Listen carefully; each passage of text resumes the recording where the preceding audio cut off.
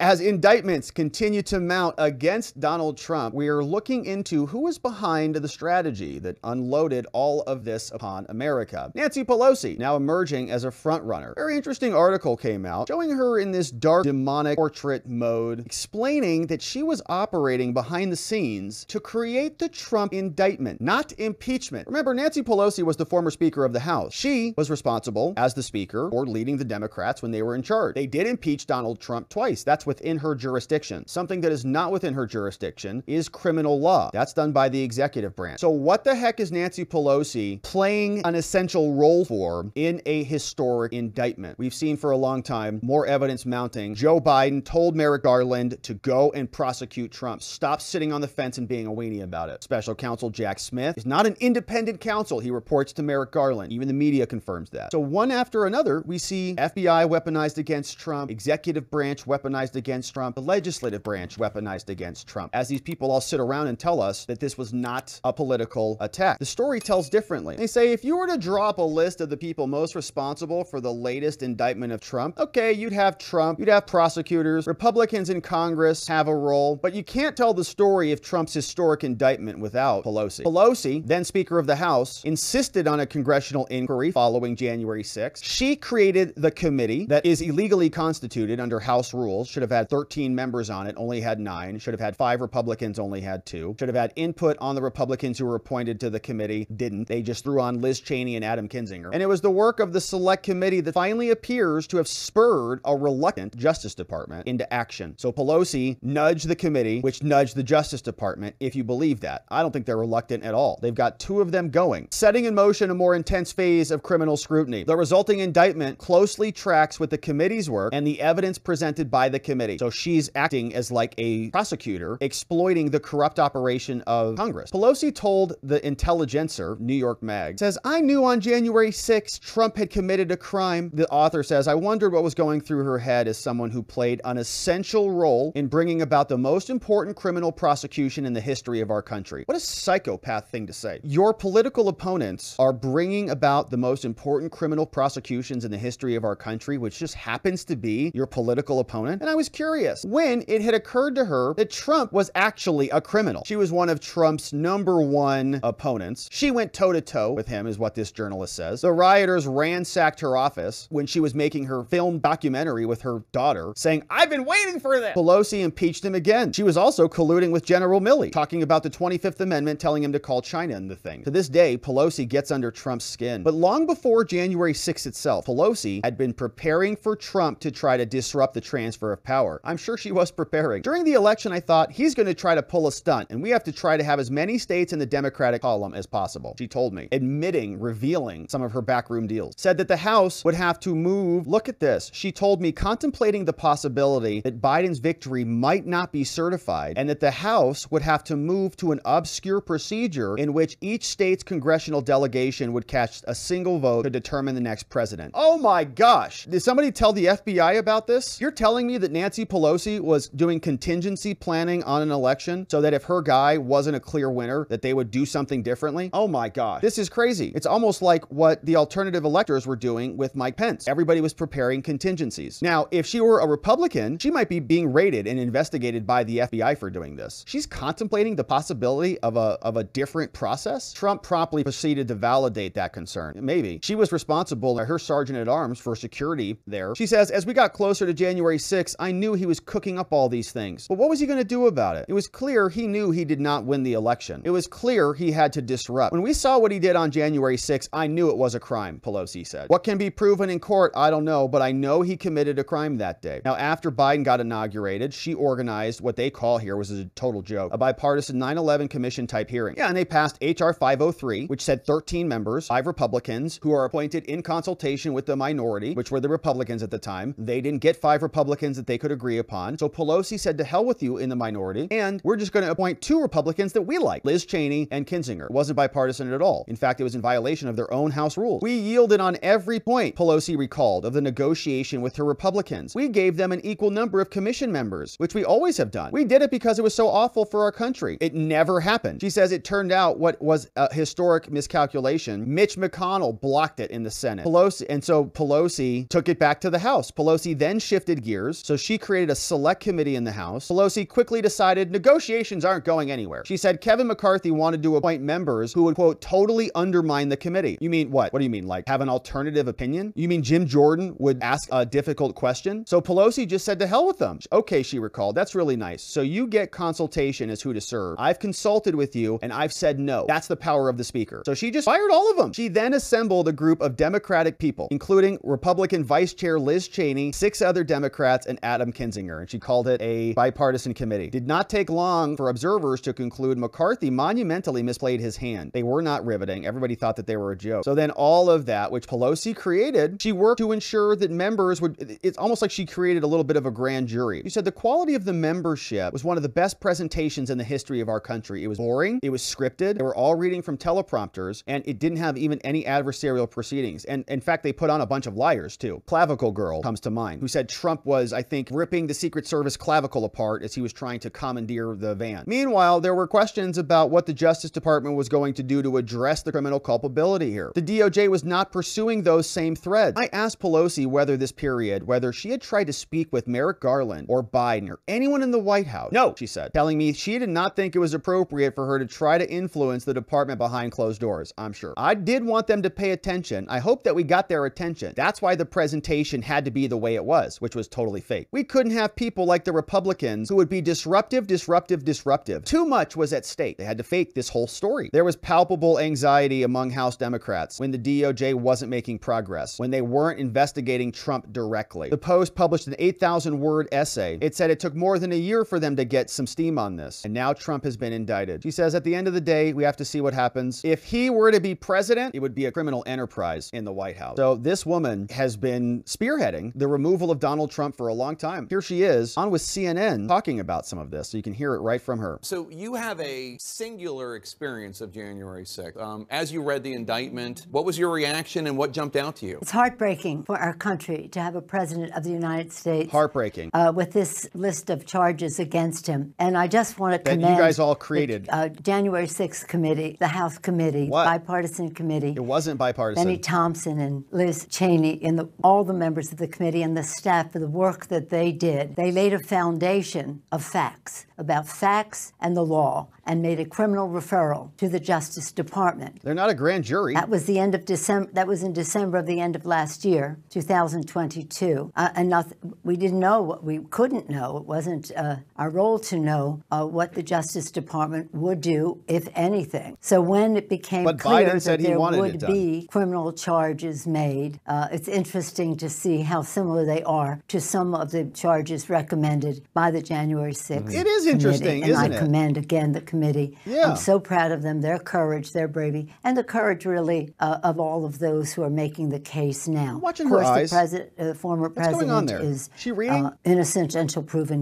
guilty. No one is above the law, and the assault that they are making on the rule of law in our country is really a sad thing. Brings, I'm sure, it would bring tears to the eyes of our founders. I'm sure. The yeah, they would current have a lot Speaker of the House, problems. your successor, Republican Congressman Kevin McCarthy, he responded to the latest indictment by posting on the social media site formerly known as Twitter, quote, House Republicans will continue to uncover the truth about Biden Incorporated and the true two-tiered system of justice, unquote. He went, he went on uh, from there. What's your response to uh, Speaker McCarthy trying to refocus this to Hunter Biden and President Biden? What I would say is, and to remind the American people, that on the night when it was very clear to the Republican leadership in the House of Representatives and in the United States Senate that there was an incitement instigated by the President of the United States on the Capitol, on the Congress, more importantly, on the Constitution of the United States. They saw the danger, the danger that we were in. They saw the lack of response from the President for not sending the National Guard, because we pleaded for him, pleaded for him, Stephen's pleaded for said that- And Chuck Schumer and I kept pleading with him to 71 also to call off Oh, his troops, but to send in the National Guard. They saw the danger. They made statements about it that recognized the involvement of President Trump. And then they all, so many of them, majority of them in the House, voted to not to reject peaceful transfer of government, accepting the uh, the numbers that the American the vote of the American people, as demonstrated by the Electoral College vote. It was heartbreaking to Total of all the tragedy of that night, and then to see them say, "Okay,